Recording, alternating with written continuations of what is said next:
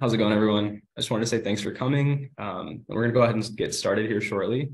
Uh, before we get started, I did want to touch on a few things. So we do have a few more of these webinars coming up. We have one with web and API for the automation solution here at Qyrus. Uh, and then also coming up, check out our featured Fridays.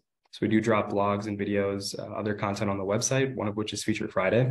We go through Qyrus, a lot of the features and functionalities, and we do drop on every Friday they're really quick read and they're really fun to, to look at and get into. So definitely check those out as well.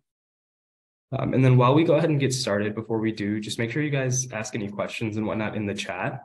Uh, we do have a Q&A section at the end, so we'll be taking a lot of those questions, compiling them, and going through a few of them at the end there. Um, and so just go ahead and coordinate those as well. I do have a few other team members here, uh, so you may get a response immediately. Just go ahead and put those in the chat. Awesome. So without further ado, let's let's hop right in.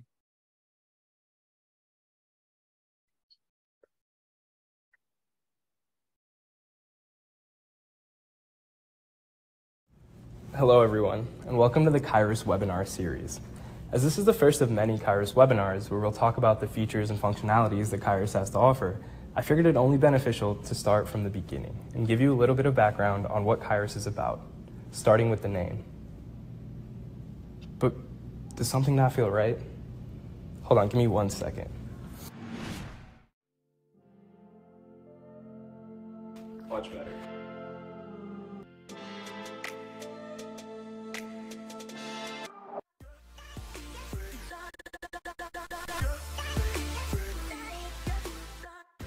Q-Y-R-U-S, pronounced Kairos, derives its name from two different Greek words. The synergy between keros and kairos.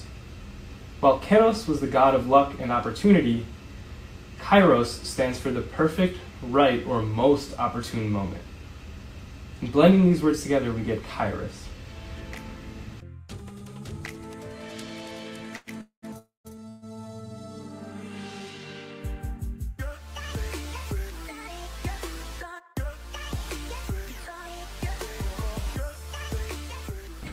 Qyrus is an automated testing solution to test all things digital, with web, mobile, API, and business process testing, alongside the accompanying browser and device farms across the globe.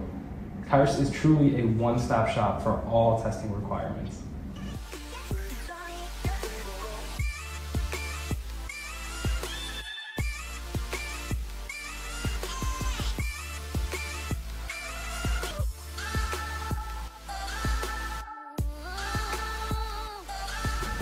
Now, without further ado, let's get into the Qyrus mobile testing solution as we dive into our demonstration and webinar for today.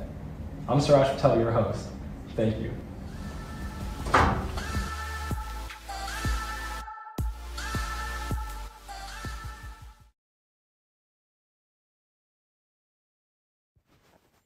So as mentioned before, Qyrus is a one-stop shop to test all things digital. And so if you look above, you can note a list of our offerings. What I want to make note of is you see the web and mobile testing solutions there, as well as their accompanying infrastructure in browser and device farm. Furthermore, you can see our API testing solution there, which is already comprised of functional performance and process testing. Um, but accompanying it, you can also note that we have API monitoring and service virtualization there. And lastly, I wanted to make note of a unique Qyrus offering in our business process testing solution, which allows you to reuse previously created web, mobile and API tests and kind of just stitch them together as well as their accompanying data transfer processes to make end to end business process tests. And our pillars can be noted there as well. The first of which, as you can see, is making testing simpler. So Qyrus is a low code, no code testing solution with a form like functionality. We also offer built in recorders for web and mobile testing. And what we see is this enables a more intuitive testing experience in doing so, we kind of reach out to, to more aspects of the testing team. So we see business analysts using the platform, developers jumping on and using the platform for applications in, in beta versions, uh, as well as testers, whether they have an automation background or they're coming from a manual background, all utilizing the platform alike. And doubling up on the concept of, of testing being this team experience and team requirement, we also offer collaborative reporting. So you can see that you have PDF reporting options, email options where you can simply just email the report straight to a coworker or a team member, as well as you have the download reporting options as well there to kind of organize them as you see fit, And so collaboration becomes second nature. Our next pillar that you can see there is making testing smarter.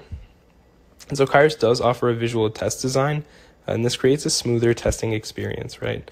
Alongside doubling up with AI and ML capabilities, we do offer self healing and autonomous testing, which we'll talk about later. This allows Qyrus to offload a range of test building and management requirements utilizing these, these smarter AI and ML capabilities. And also being built entirely in house from the ground up, the platform itself is a unified platform. So you can see that as well when you're building, kind of executing these test scripts, everything is very smooth and seamless. Our next pillar is making testing smarter. So Qyrus does have a visual test design to promote a smoother testing experience. Uh, alongside this, doubling up with AI and ML capabilities, such as self healing and autonomous testing, which we'll talk about a little later in the demo, Qyrus offloads a range of those test building and management requirements, kind of making the day to day much easier.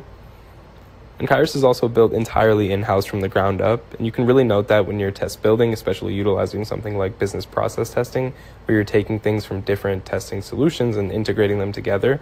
Um, a lot of that is very seamless and smooth, and that's because Qyrus is built in house and entirely from the ground up, making it a unified testing platform in that sense. Our third pillar is scalability. It's essential that as your application scales, so does your testing solution. And Qyrus being a cloud based platform with the added infrastructure requirements, scalability becomes a no brainer. Um, and it's important to, note that you can actually scale up and down at any given time, and that includes browsers, devices, uh, as well as licenses. And not only can you scale your licenses, which means adding and removing them, but you can also edit these licenses at any point. So if you have different users that want to use the platform or a change in team members, you can always alter those licenses uh, to reflect different user or team member. And having the ability to manage all of that within one solution really does provide the freedom and comfort the testing teams need uh, that have varying requirements due to application scale. Our final and most important pillar is security. As tech develops, security is becoming increasingly important, and so it's essential to note that the entire platform is actually sitting on a virtual private cloud. Qyrus also enables data encryption, both in transit and at rest, and is also SOC 2 Type 2, as well as ISO compliant, both of which are industry standard certifications. To Qyrus, security is of the utmost importance. So understanding Qyrus really just comes down to understanding three core testing requirements Qyrus is divvied up into test building, executing, and reporting. Divulging a little bit more on test building, you can note that Qyrus is a low code, no code solution with recorder offerings. That synergy with the required infrastructure offering as well allows test building to become all the more simple. In essence, you can go ahead and select a device through the device pool, connect to that device, and continue interacting with that device or your application on the given device, building out test scripts as you interact. And these test scripts are then repeatable, and you can go ahead and execute them live on the device to ensure functionality, or then execute them as well uh, in accordance to other execution requirements, which leads us into the next topic. This is where the device farms become very critical. Qyrus enables you to execute on a pool of devices simultaneously with parallel testing options. So that already maximizes coverage in the range of devices that the application is being executed on, as well as the reports that you can see accordingly. And after maximizing that coverage and having all these devices at your fingertips, you can actually scale this up and down whenever necessary. So as releases come, you can add more devices and test accordingly, and then scale down when required as well. And furthermore, you can take all of these executions and these device pools and schedule them to test while you sleep, which kind of really puts the cherry on top, testing across devices with these parallel testing capabilities, all scheduled and running in the background for you to have these reports when you wake up leading me to my final transition, which is reporting. Qyrus not only provides detailed visual and data driven reporting with screenshots and recorded video of the test execution, as well as expected and actual data results, but we also take it one step further in making these reports collaborative, right? And giving multiple options to go ahead and share these reports, allow more team members access to these reports, and allow different avenues of organizing and managing these reports as well. But making Qyrus a truly one stop shop came not only with automated testing solutions, but with the added AI and ML capabilities and infrastructure. We previously discussed the self healing capabilities of Qyrus, known as Healer. With altered locators, that can be a nightmare in regression suites, and Healer solves this issue anytime there's a locator changed or can't be found. It provides users with a range of alternatives, including IDs, XPaths, other locator values that you can then return into a script to provide its baseline functionality. In essence, Qyrus heals the script straight from the reports, and anytime there's a failed script, you can go ahead and utilize Healer to return that script right to that baseline functionality. Secondly, we have Rover. Rover traverses your mobile application like a user, providing a flipbook and a web of the return results. Utilizing the flipbook, you can see your application page by page, and utilizing the map, you can see user journeys and identify traversal patterns, locating isolated pages. With added test data management to centralize all test data and visual testing, which enables dark mode, overlap, and contrast testing, the intelligence capabilities of the platform speak for themselves. Alongside this is the infrastructure additions. You can note the browser farms with a range of offerings in accordance to operating systems and browsers as noted. Similarly, we have the device farms with a range of device options. These farms are also located across the US, UK, and India to offer testing capabilities and device connection around the globe, as well as 24 7. And lastly, these devices, browsers, all accompanying data sit on a private instance, ensuring both isolation and security for all users or clients of Qyrus. And this infrastructure, as powerful as it is, can be implemented alone without implementing these Qyrus automated solutions as an infrastructure as a service.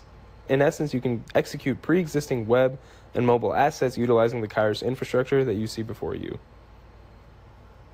Though Qyrus is powerful, we all know the story of the one ring that ruled them all, and this is very far from it. The platform integrates out of the box with a range of CI CD pipelines as well as defect management tools as listed and these features are founded on the pillars of security, with the industry standard SOC 2 Type 2 compliance, as well as ISO compliance as previously mentioned. But adding to this, Qyrus offers private instances and private infrastructure, with private browsers and private device options as well, going above and beyond the security standards. Now, it's important to note that each client may have individualized testing requirements, and as all of our services can be purchased separately and used individually, the true power of Qyrus is seen when they all are combined. What you can note here is a diagram of our ideal test automation framework. So as there's different updates or as any testing requirements um, are initially released, it's important to note that the first layer that's being tested is the API layer. And this is validating the data layer of any given application, ensuring that the quality of the data transfer processes as well as the functionality of the data transfer processes. After that comes the validation of the UI layer, and that's the topic of discussion today as well as the demonstration today. Now, this can be web testing, mobile testing, uh, or with Qyrus, you can also have that end to end business process testing where you're using web, mobile, or APIs. But in essence, this is ensuring the optimal user experience, right? That functional user journey, making sure that everything that my user is going through is working properly uh, and in a timely manner. And lastly, we have monitoring to that equation for that constant feedback and continual testing. Now, whether that's web performance monitoring, API monitoring, um, a range of those are offered, um, and integrating those in a with a range of pipelines, defect management systems, placing those behind a codeless and easy to use UI, you can see that the power of Qyrus extends beyond simply building out tests and executing them in repetition. Before we jump into the demo, I did want to list a few of Qyrus's recent highlights. Uh, the first of which is being included by both Forrester and Gartner as a top tier automation testing solution within the market. And the reviews are also listed there and can be seen. Next, be on the lookout for our booths. We have been attending a lot of industry events, including conferences, uh, as listed, and will continue to do so as well. And lastly, if you wanted to learn more about Qyrus, uh, there's a few links provided below, including the new.qyrus.com, which is a list of our new releases, docs.qyrus.com, where you can see a detailed list of all of the different testing solutions, offerings, and how they work, um, as well as just the Qyrus website to see different resources. We are posting Feature Fridays, um, which is blogs about the features every week, uh, as well as a range of other drops, including videos um, and other content that keep you updated with not only Qyrus as a solution, um, but the testing industry as well, right? And so without further ado, let's dive into the demo.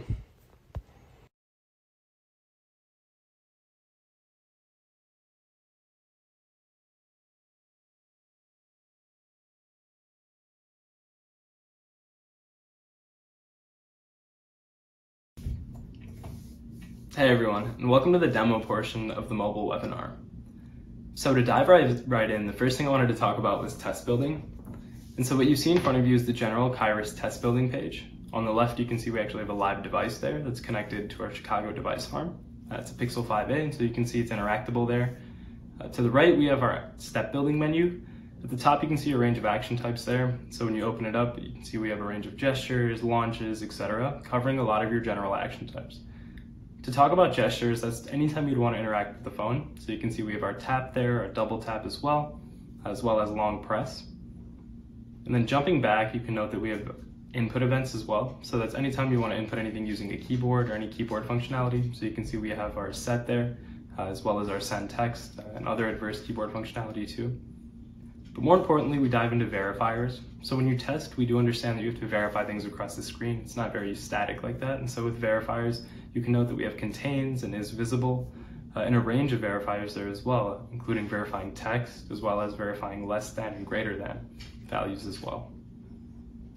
And most importantly, to handle all of your edge cases and show the true nature of the action types that Qyrus has built into it, we have our data handlers. So you can take any element or any sort of text on a screen and throw it into a variable. Right and at the top, we have that create variable functionality.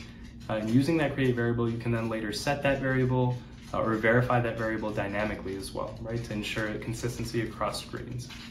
Um, and more importantly, for your edge cases, we do also offer execute test case and execute Java as well. And so you have the ability to go ahead and input code there. So we are a low code, no code solution. And you can see that we have a range of action types built in, but if the necessity ever came about, you have the ability to go ahead and input that Java code as well. So let's go ahead and start step building. With our phone connected on the left and our action type menu on the right, test building becomes really simple. So first we're going to dive in and select a gesture, and in this case a tap. After you select your action type, the first thing you have to do is go ahead and enter a step description. In this case, we're going to click Inspect Mode button, which is the second button that you see on the screen there on the left. And this is where things become interesting. The next thing you require is a locator and a locator value. And this is where we dive into the first feature of Qyrus, Inspect Mode. Prior to Qyrus, testers and developers would have to hunt for those locators and locator values, but with Inspect Mode, Qyrus makes that simple. Simply hit the toggle to the left and you can see that any element on the screen is then interactable. And when that bounding box is placed, you can see the locator and locator value is actually automatically populated there as well. I can change the color of the bounding box too. You can see I went from red to blue here as well. But more importantly, I can change the available locators there. So I can do a relative XPath and even an XPath by class, and you can see the value automatically changing there as well. But to adhere to best practices, let's jump back to an ID. And to continue this test step, this is what I like to call the trifecta. The first thing we're gonna go ahead and do is verify the element. And what that's gonna do is verify the bounding box there on the left, and you can see it turn green, as well as we get our checkmark indicator on the bottom. The next step after that is gonna be to actually execute the test step. When we go ahead and execute the test step, you can see that the screen on the left will go ahead and execute the test step as well, and you can see it happening live. Uh, and more importantly, we have our green checkmark indicators at the bottom there as well. And so after you know the test is both functional and the element is the proper element that you're selecting, you can go ahead and push that singular step to the test script there as well. And so let's continue to keep building. The next step again is going to be a tap. We're actually going to tap continue here. And so I'm going to select the tap one more time, put in the step description as tap continue. And again, I'm going to toggle that uh, inspect mode button for the locator and locator value. We're just going to select that dismiss button there, verify the element, you can see that that bounding box turns green. When we go ahead and execute that step, you can see the step has gone through and we're at the login menu, and so we're gonna push that to script. And so you can see with the action type menu uh, in the inspect mode that the general step building process becomes very simple and easy. But this kind of takes us to our next process and our next step into this demonstration, which is the recorder mode. An already simple step building process is made even simpler and faster when you think of the recorder mode. So on the left side, you can see the recorder mode toggle, and when we select it, you can see the recorder mode is enabled.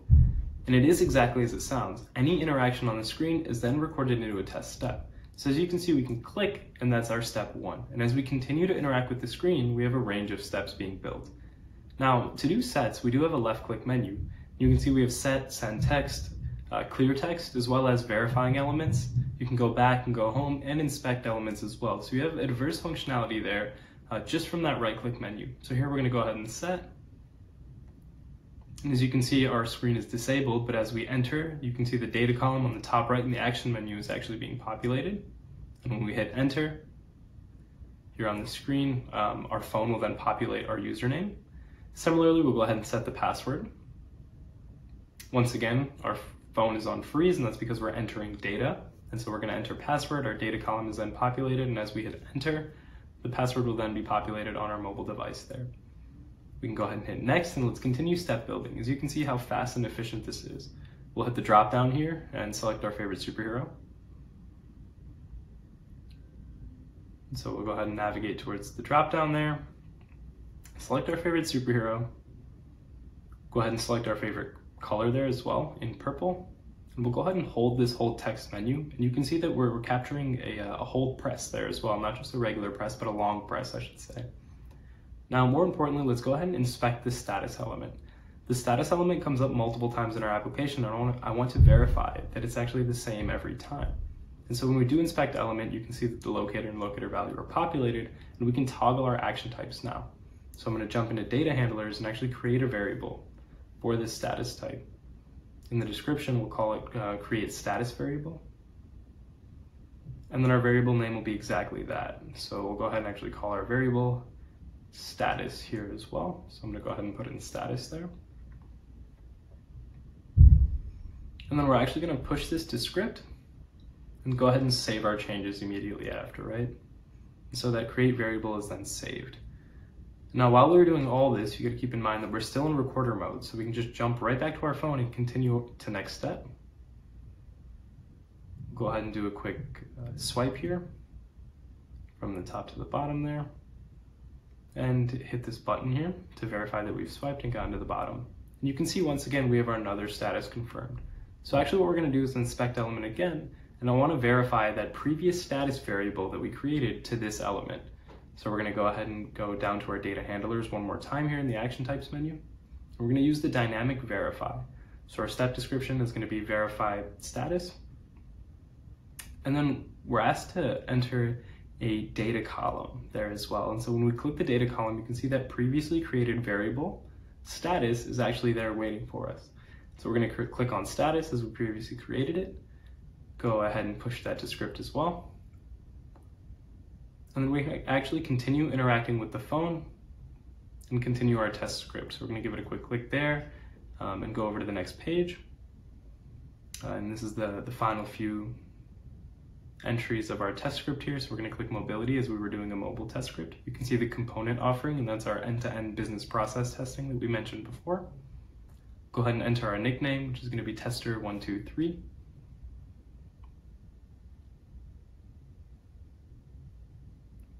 Lastly, our favorite animal will then be selected. Uh, in this case, we're going to go ahead and pick a giraffe. And here we'll conclude our test.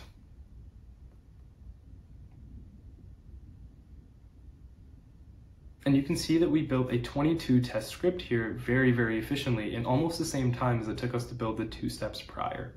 And so you can see whether your scripts are 10 steps, 20 steps, 100 steps, with this step building process and efficiency, the step building just becomes that much simpler, that much faster, and that much more coordinated. So because we have this 22 step script here, as you can note, um, and we have our phone connected to the left live in a device farm, what we can actually do is scroll to the top and select all of these steps and actually live test them using the phone there. And so as we live test, you can see the phone's gonna go through every single step we just built and one by one execute them. Here we're gonna go ahead and log in, enter our superhero, uh, as we did before, even down to creating the variables and doing those verifications that we input, our live test feature has the ability to do all of that as well. And as our phone runs through it, you can see that we're gonna go ahead and click mobility and end our test script here.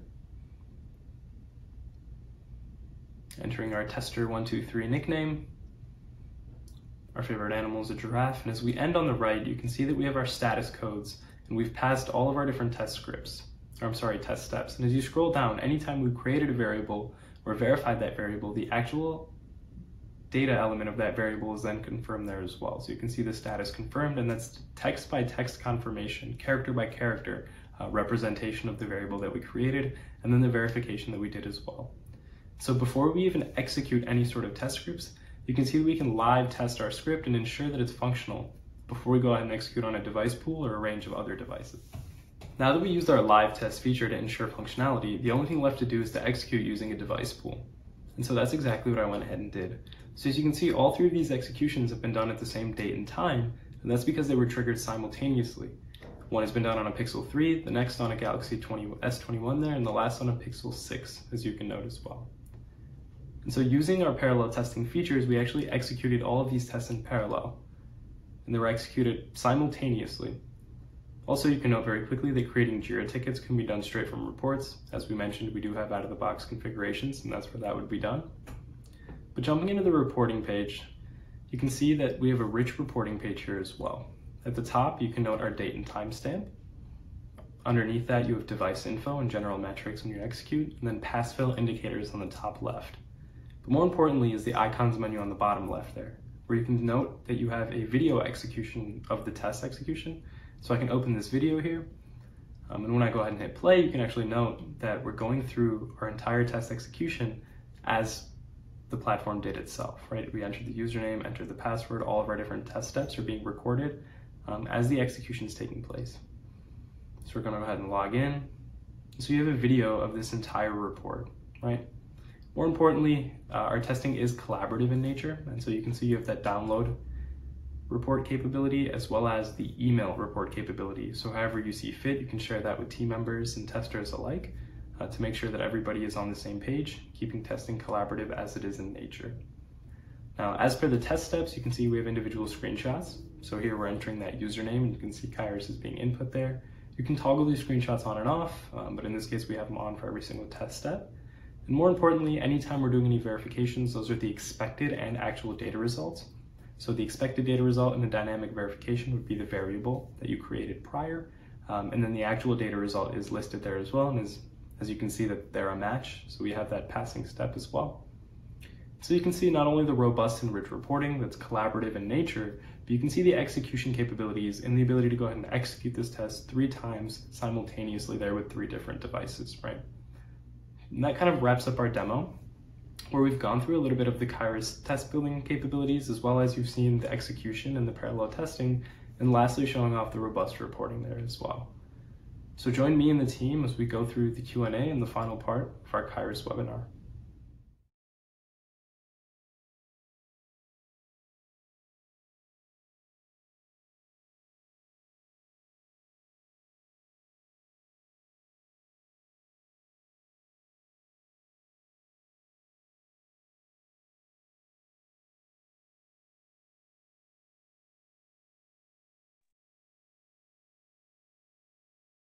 Hey everyone, thanks again for going through the demo. So we're going to go ahead and start our QA session. Um, we did get a few questions already, so just to go ahead and accumulate these, let me go ahead and look at these. So you guys had a range of questions regarding pipelines specifically, um, so just touch on those one more time. So we do actually integrate out of the box with a range of different pipeline tools. What I actually love to say is you guys all know um, the one ring that ruled them all. It's a Lord of the Rings reference. So we're not the one ring that ruled them all in essence. We do integrate out of the box. Um, and so we have Jenkins, Azure DevOps, TeamCity, Bitrise. Um, we actually have a range of pipeline tools. I can't list them all off the top of my head here, but the links will be provided um, to you as well after this. And then you can look at those on the website also. Um, alongside those pipeline tools, we do have defect management tools as well. So we have Jira and X-Ray out of the box too, uh, which we did mention. You can create those tickets um, straight from the platform. Going through some more of these questions really quickly. Oh, so there's a good one. So what um, devices slash browsers do you support? It's a good question because you do have to talk about devices and browsers. So we do offer uh, web mobile testing. So in essence, you can go ahead and launch a browser uh, on a mobile device, whether that's Chrome, Safari, you name it. Um, and so with devices and browsers, it's fairly agnostic. You can kind of choose uh, which devices and browsers that you want. So we have for devices a range of Android and iOS. Uh, so we do have uh, private device options. And so you can do previous versions of devices as well as the recent versions. You can do newer beta versions of OSs as well when you pick your devices. Um, and then at that point, it's pretty choice oriented. So you can basically pick which devices you want to test on and then mm-hmm. browsers as well. So we are a cloud-based platform spinning up these browsers in second nature. So any browsers that are required are available there as well.